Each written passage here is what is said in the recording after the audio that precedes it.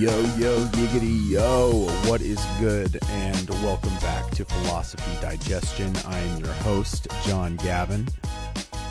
I hope that you have had an amazing summer because I know that I have. You know, sitting out enjoying the heating climate is always uh, relaxing and a little bit anxiety inducing if you really think about it.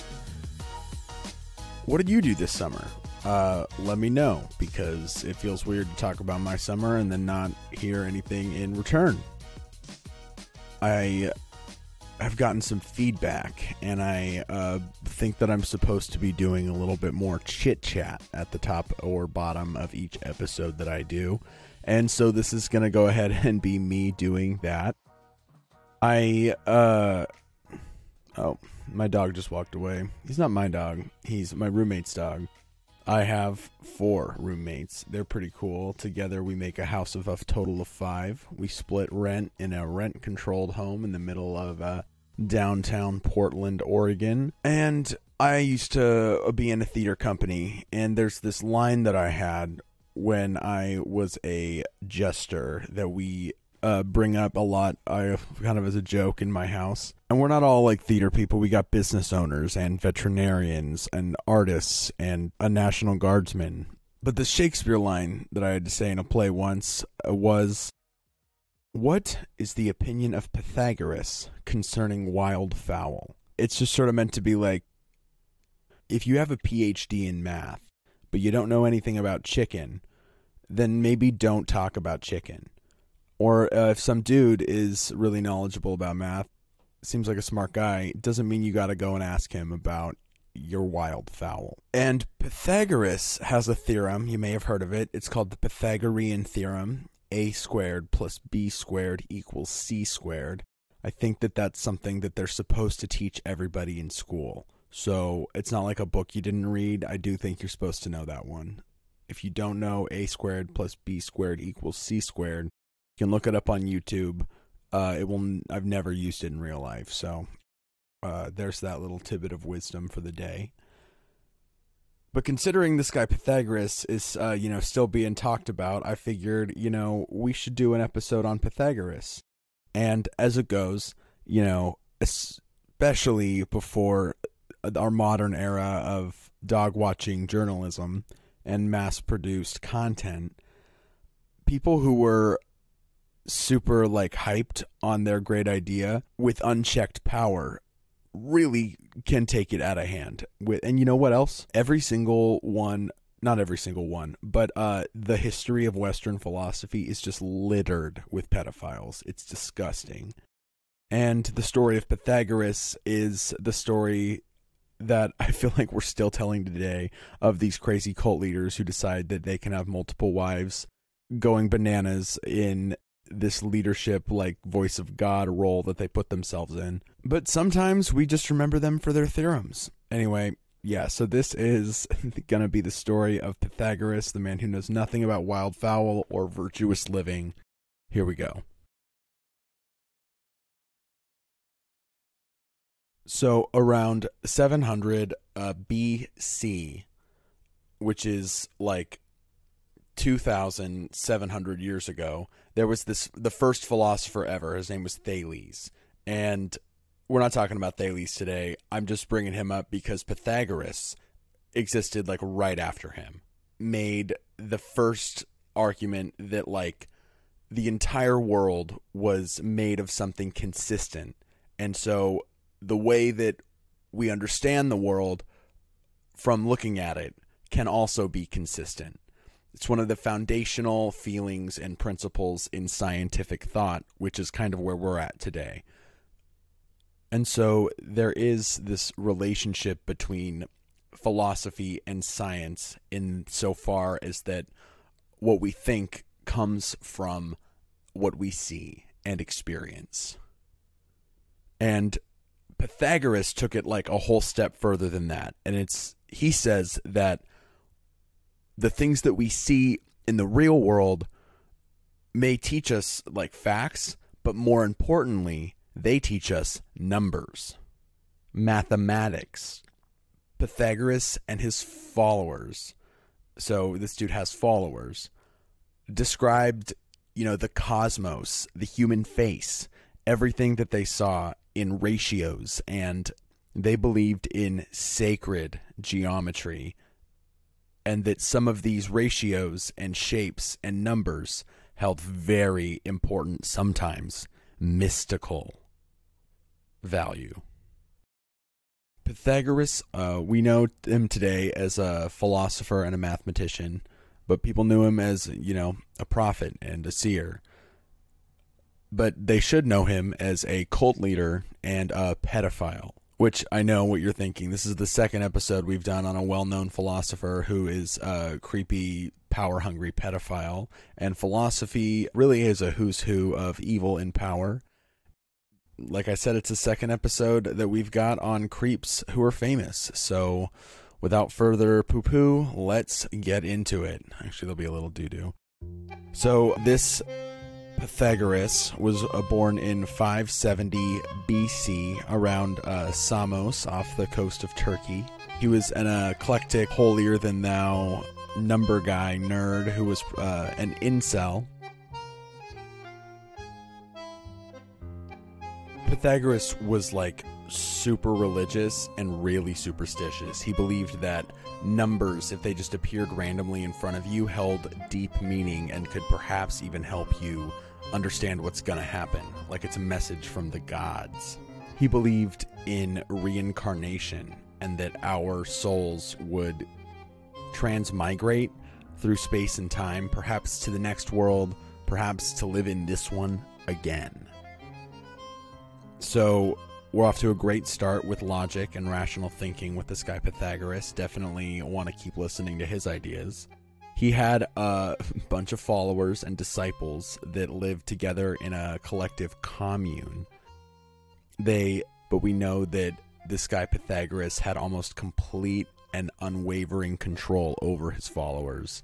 These Pythagoreans, as they called themselves, literally naming their like group and their identity after their leader. They thought that his ideas were mystical or divine revelation, messages from God. They followed and worshipped him to the extent that some of the discoveries that Pythagoras claimed and that we remember him for may have actually come from the people in his community. He just, you know, slapped his brand on it and took it as his own there are two sides to Pythagoras' uh, beliefs. There are the mystical and there are the logical or the scientific. And it seems uh, now that these two things wouldn't be able to coexist in someone's head, but this guy Pythagoras was definitely a loose cannon, so who knows what he's got rattling on around there. And for Pythagoras, the goal of life was freedom from the cycle of reincarnation, achieving that next plane and not just being sent back into another life on this planet. And you can achieve freedom from reincarnation by uh, following his strict behavioral uh, guidelines, his diet, and by recognizing him as the messenger of God. What he took as messages from God are the facts of geometry and mathematics that these truths about our symbolic representation of numbers helped us see things that are true because they're self evident. If you have 180 degrees and you draw a 90 degree line, and you have one side that's 90 degrees, it just goes that the other half is also 90 degrees because it has to add up to 180. That is a logical, mathematic, and geometrical truth. Pythagoras and his followers believed that these had like divine meaning. Because the mathematical discoveries were like byproducts of, you know, just pure reasoning. Pythagoras believes that they are more valuable than our experiences and our observation. Pythagoras uncovering the underlying principle behind right angled triangles and that, you know, they're two shorter sides add up if you square them to the longest side squared every time. The discovery that that is universally true, a squared plus b squared equals c squared, was so crazy to these people. that it must have come from something like God and that it held such potential that maybe if they built a structure big enough that represented they, what they understood, that aliens would come down and, or God would see and know that we were making progress as humanity. And Pythagoras overall concludes that the whole cosmos must be governed by these mathematical rules, or else there would be no order to it. And whereas before people had just assumed that the order to the cosmos was given by God, Pythagoras saw that there is a way we can divine and we can begin to see the order of the cosmos through numbers, the language of God, in his opinion. There's not a ton known about Pythagoras' life. He didn't write anything down himself, and unfortunately, it's been said that no one knows for certain what Pythagoras told his associates, since they observed in their strict guidelines unusual silence. But modern scholars believe that Pythagoras was probably born on an island and that he probably traveled, he probably studied, and he probably visited Egypt because they used the 345 ratio in their building a lot they know that at around age 40, he set up a community of around 300 people in Croton, southern Italy. This is his cult, where he was using his status as a thinker and a philosopher to brainwash, you know, women, children, men too, into believing that his ways and what he thought was the best way to live was the only way to reach, you know, salvation.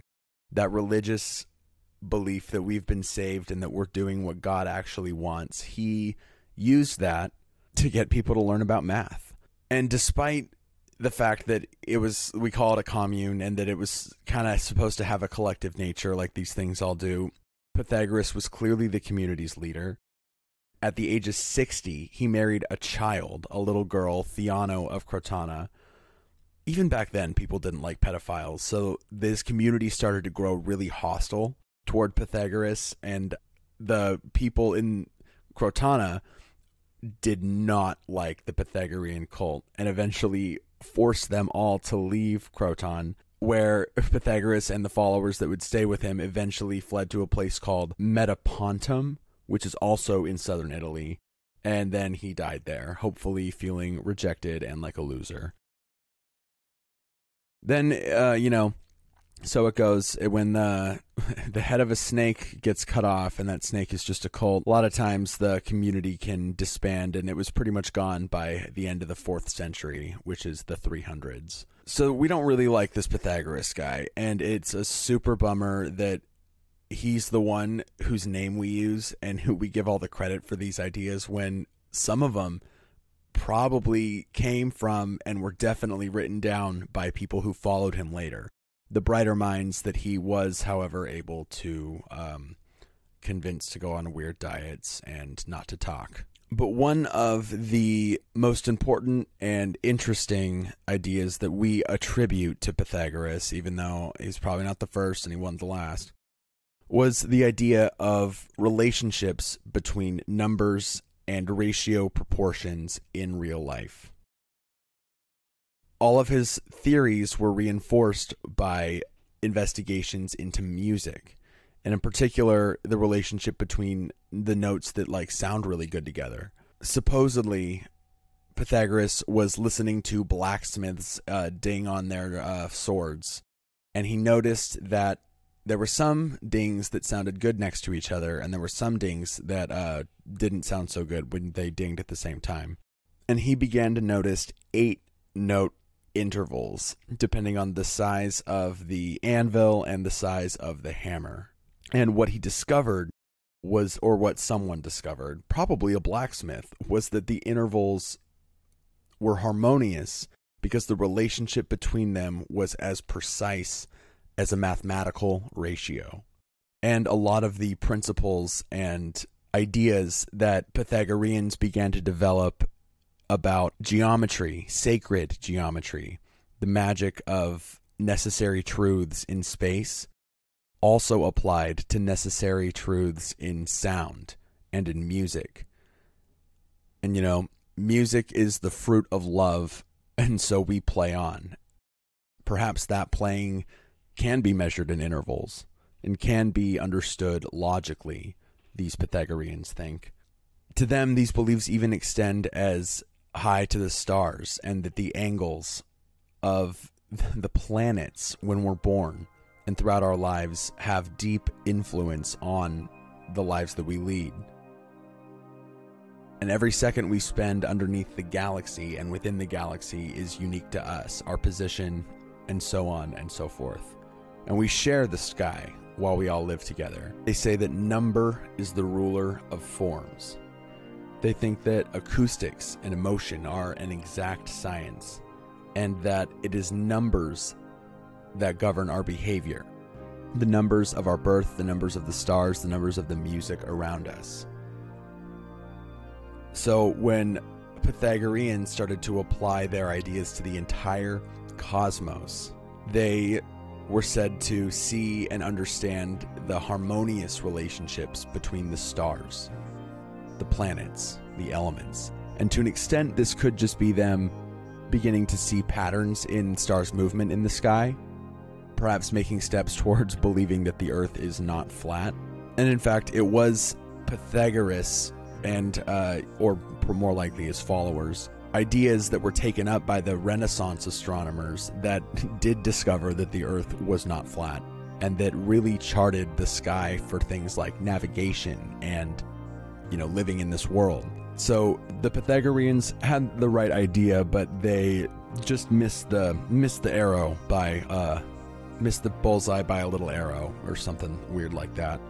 And it wasn't even until 1865 that a chemist named John Newlands discovered that even the chemical elements, if you arrange them uh, by atomic weight, the ones with the most similar properties occur every eighth element, just like notes. Just like how every eighth note is an you know it's an octave. It's the same note: A B C D E F G A B C D E F G. And something that uh, all the astral projectors out there would also agree with is Pythagorean's uh, very important idea that abstract thinking is actually better than our senses and living in this world. It's uh, something that Plato takes up in his theory of forms, and it's something that rationalists even begin to start to argue again in the 17th century, because rationalists think that while it's important to be rational about what you perceive, you also can't perceive anything that's absolutely true. And the, the Pythagoreans tried to combine rational thinking with their religious ideas to grapple with the problems that we all grapple with. You know, how do we know what is consistent in the universe? What are messages from God? How do we see them? Are there ever messages from God? If there were, what would they sound like? Almost everything that we know about Pythagoras and about God comes from those around us, things that we learn from others. And even though a lot of these things may have been one person's best conjecture, it can still help lead us on the right path. It can also help lead us astray, but oftentimes getting lost isn't actually about getting lost. It's discovering that that's not the right road to walk down.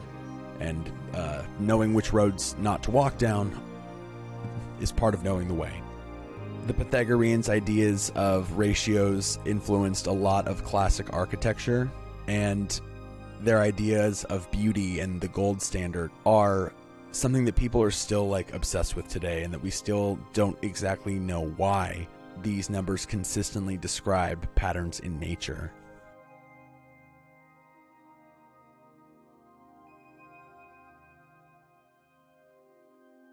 The Pythagorean Brotherhood was not unlike the other cults of today, writes uh, Medium.com. The people who Pythagoras picked were chosen, participated in an initiation. They had purification and needed to abide by very strict dietary and behavioral rules, or else they would be kicked out of the group. So if you weren't meeting these standards, you were not allowed to be a part of the Pythagorean, uh, you know, uh, team, the Pythagorean cult. And there was always the looming threat of what your soul would transmigrate back to the earth as if you broke these rules or if you left the group with Pythagoras for some reason. Your eternal life and your eternal soul may be damned. Or your next life, your next soul may be damned if you left this group. The only way to escape the cycle of life and suffering was through purification of the mind, or so Pythagoras told his followers. And he told them that being a part of the cult was the only way to purify the body and the mind. And there are themes of, you know, prudence, uh, modest living, restraint that are definitely things that we all could learn from bottom line is not everything this cult does is necessarily just crazy. You know, they they had good math. Uh, they probably ate healthier than we do. But Pythagoras painted himself as the one who understood the order of the universe. The key to his understanding was uh, mathematics and a thought. I don't see leadership really uh, granting their people. It's something that they either the leaders, the cult leaders, the persuaders, either they come up with it themselves or they think it's a great idea and so they slap their sticker of approval on it and brand it as their own. Some fun facts about uh, the Pythagorean cult. I hope that you're ready. Okay, so fact number 1. Pythagoras murdered followers. Uh, some maybe he drowned them, maybe he buried them alive, maybe he stabbed them and then buried them, but they were killed.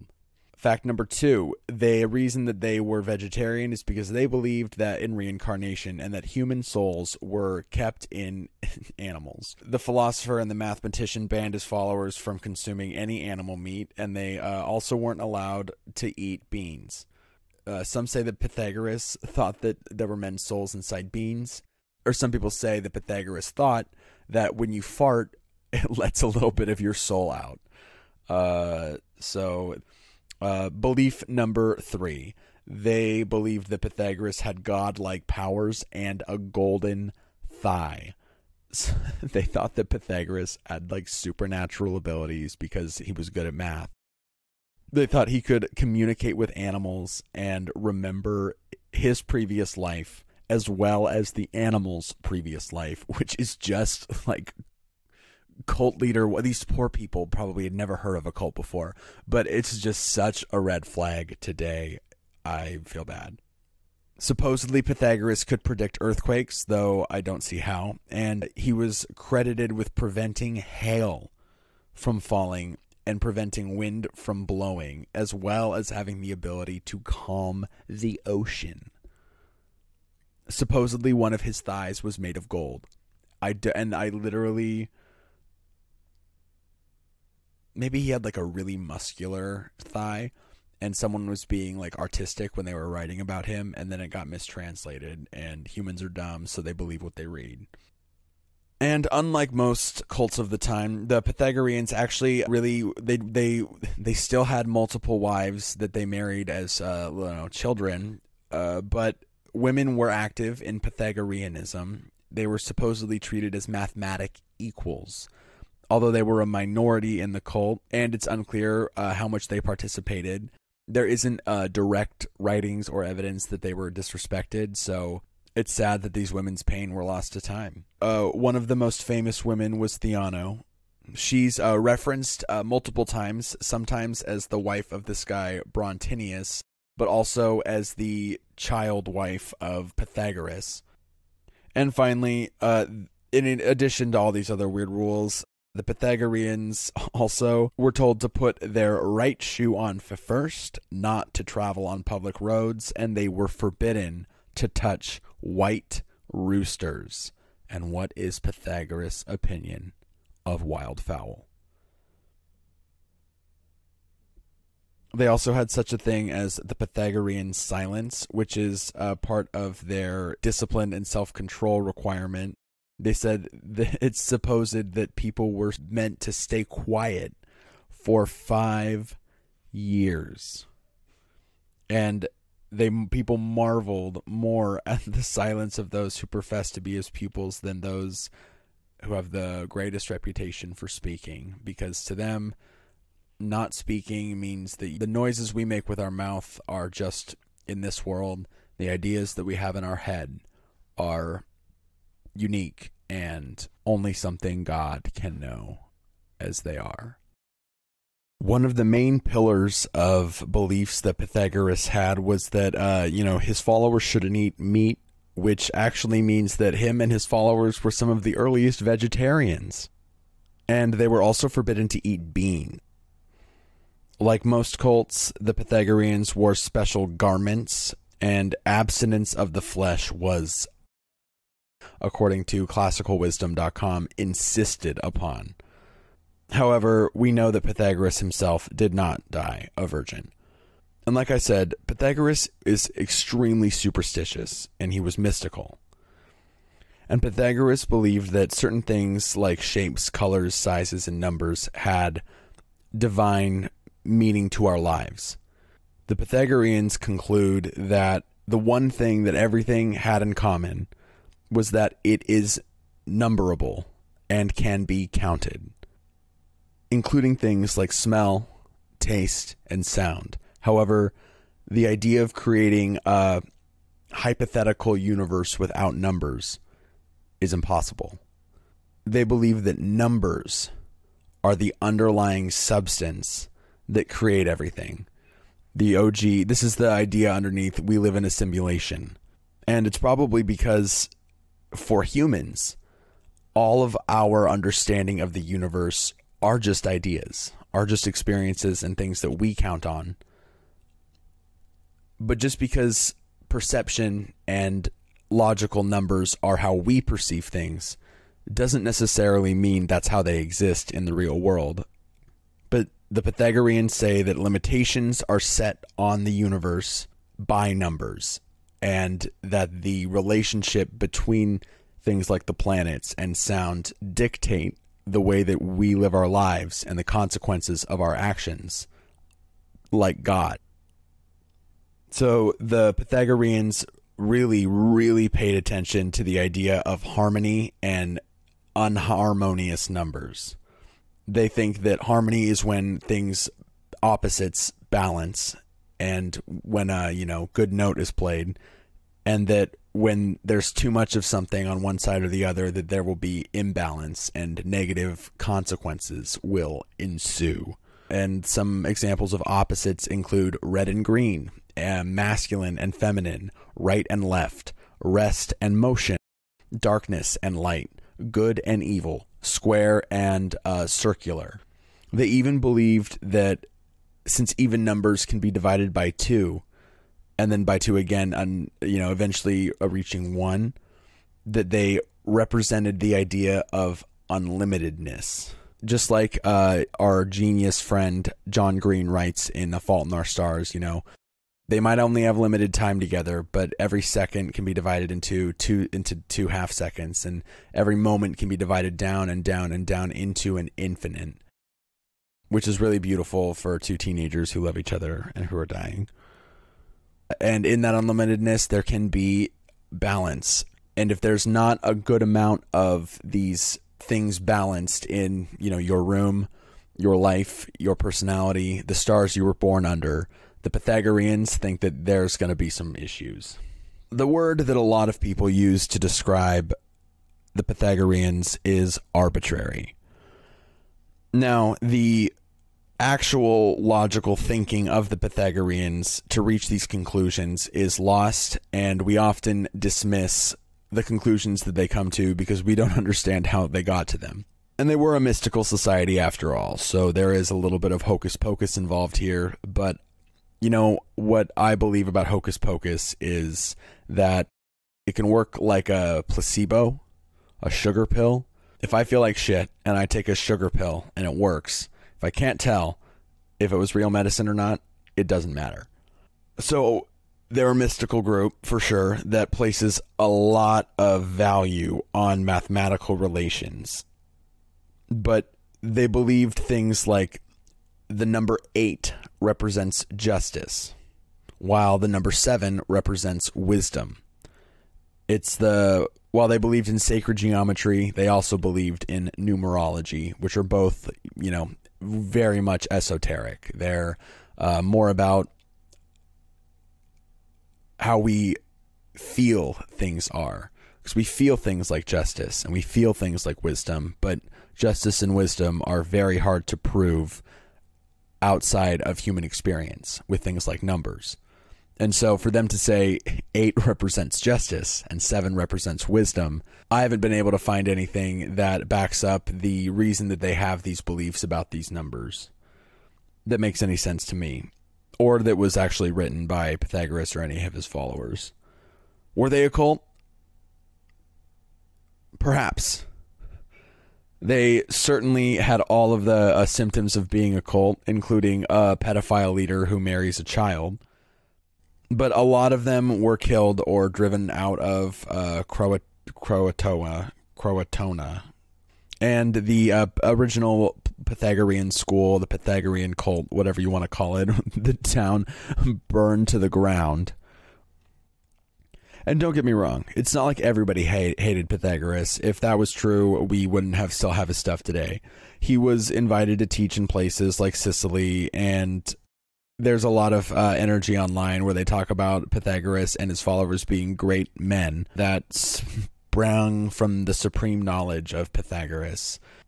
And there are Pythagorean cults out there still today, teaching weird diets, the beauty of numbers, yada, yada, yada. There is a, a hint of things like pedophilia, white supremacy, and toxic masculinity, not so hidden in these groups that are still following someone who lived in a time when having slaves was okay.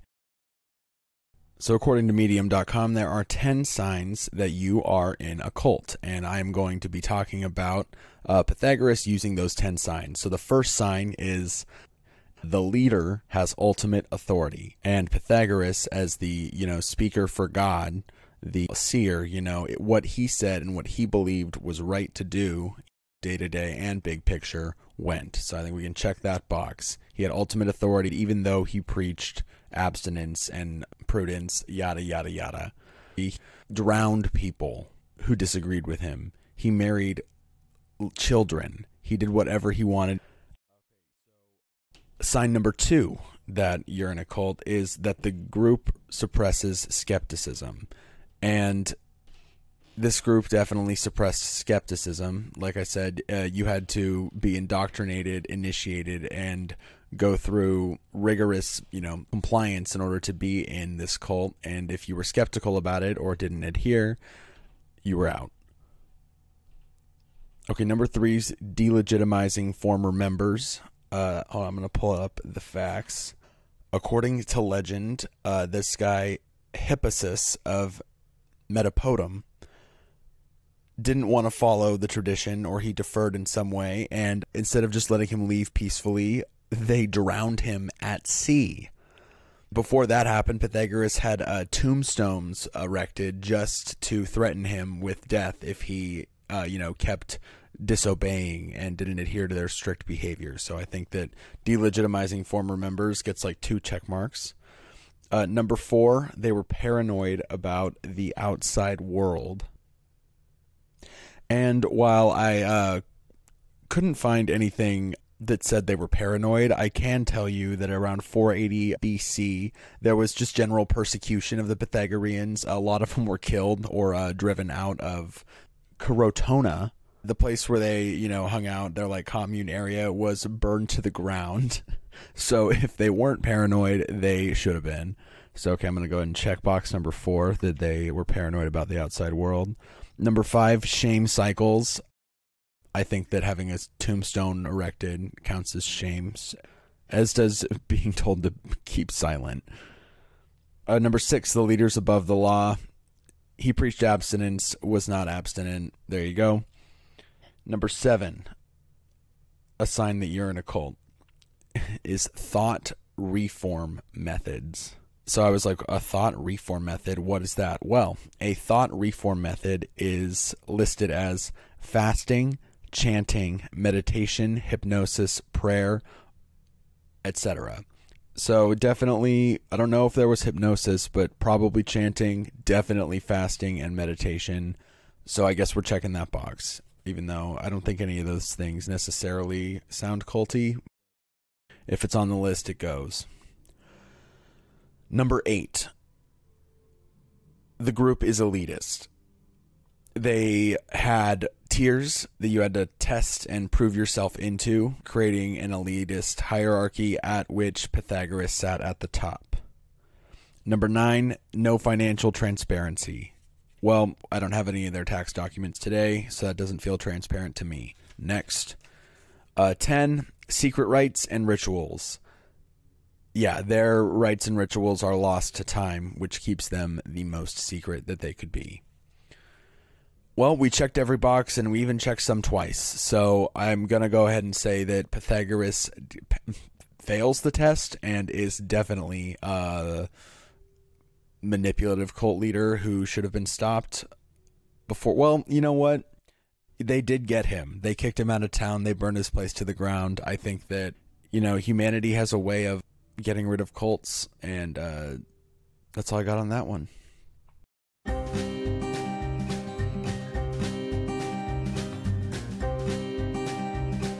I think there's an we have this uh, dream that old things are inherently valuable.